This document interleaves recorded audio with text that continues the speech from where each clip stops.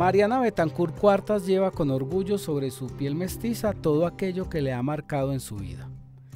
Empezó a tatuarse a los 14 años como pretexto para ocultar las cicatrices que le dejó una varicela y hasta hoy no ha terminado. Lo que su familia quiso ignorar lo refleja en sus rasgos y también en el espacio urbano, porque luego de tanto tiempo metida en el mundo del arte comprendió que la figuración, en especial en el muralismo, es una forma de contar historias de exclusión.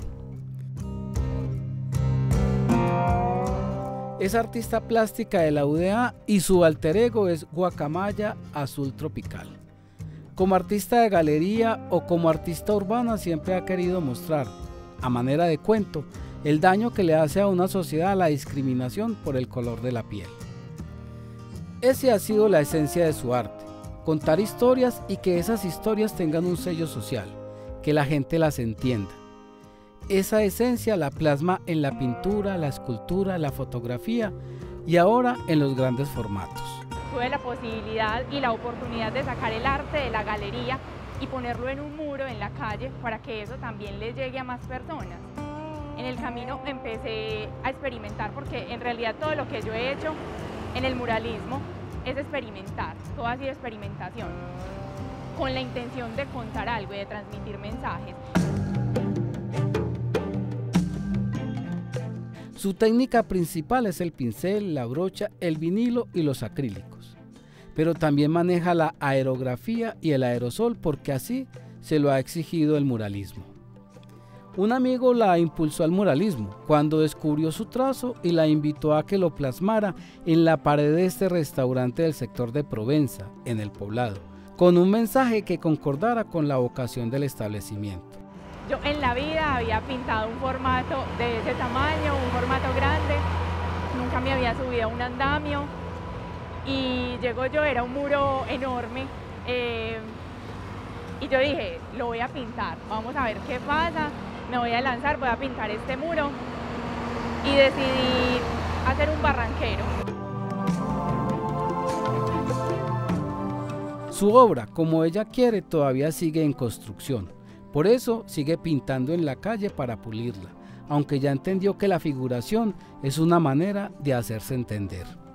Y muestra de ello es este mural pintado en la convocatoria Caminemos la 10 de El Poblado, en septiembre de 2019, en el que también participaron artistas como George Lemon y La Zorra, y en el que con una sutileza sorprendente representa el valor que han tenido para nuestra sociedad estas dos mujeres talentosas.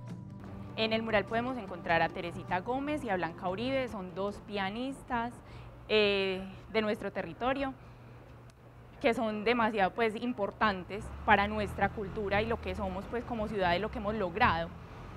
En este mural eh, también decidimos plasmar un girasol, que es la flor favorita de Teresita Gómez.